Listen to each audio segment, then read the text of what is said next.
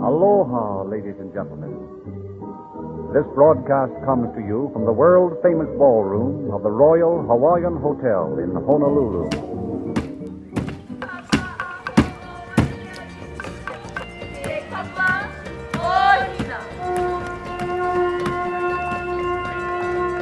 Welcome to Aha Aina, a Royal Hawaiian luau where music, traditions, and cuisine transport you from Waikiki's ancient past. Through the decades ever since, the Royal Hawaiian has reigned over its glittering shore. Before luau, there was aha'aina, a feast of food, mele, and hula.